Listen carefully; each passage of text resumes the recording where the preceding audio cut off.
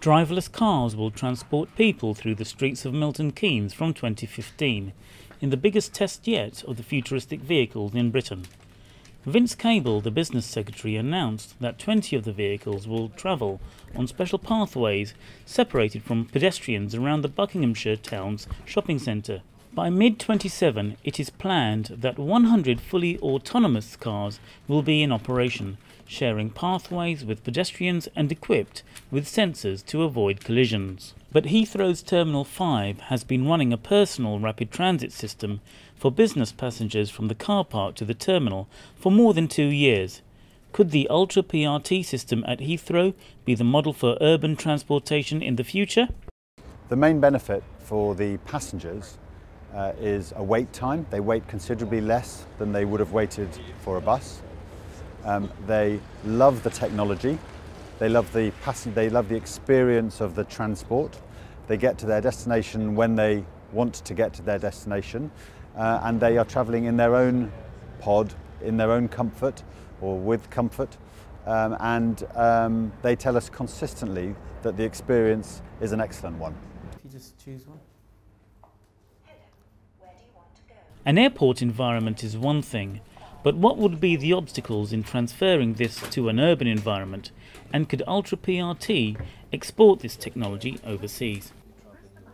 There are a number of challenges that come with um, an urban environment that are different to an airport environment, but there are also a number of significant opportunities associated with it as well. And one of the great attributes that personal rapid transit brings really is is the last mile connector, if you like. The it provides the missing link that's often um, lets a lot of transport hubs down in effect. So the proximity effects, for example, so the, the, the, the land value, the increase in land value that can be associated with being within a few minutes of a transport hub, is the sort of benefit that we'd be looking to to derive through a personal rapid transit system. The pods manu- were manufactured by a company called ARC, who are a prototype manufacturer of vehicles uh, based in Basildon.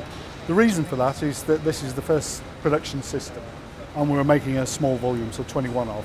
So uh, essentially, the detailed design of the pods happened in parallel with the manufacture of this first batch. The system is designed as an urban transport system.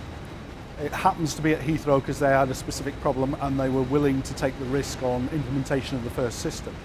But in terms of the design concept and where our founder Martin Lowson started from, he looked at urban congestion as a problem and thought, I can, I can help with this, and tried to design uh, additional capacity for the urban environment, which reused vehicles, took congestion off the roads. So the, the system design is all about the urban environment. It's about that last mile, last couple of miles solution to integrate the feeder uh, systems of trains, buses, etc., and help people get the last, uh, the la- take the last part of their journey in comfort.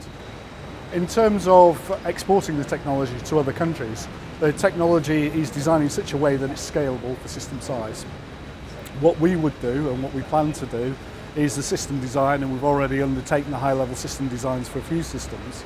But essentially, we do the system design and we own the uh, detailed design for things like the vehicle and the, the specifications for guideway and uh, station equipment and so on. And therefore, what, we, what we will do is the system engineering of, and the high level system design, and then the detailed design, the uh, civil infrastructure, the architecture will all be outsourced in country. And so we'll also license the detailed design of the pods themselves so that they can be manufactured abroad. Because one of the big things that we're finding is people need local content of, of systems.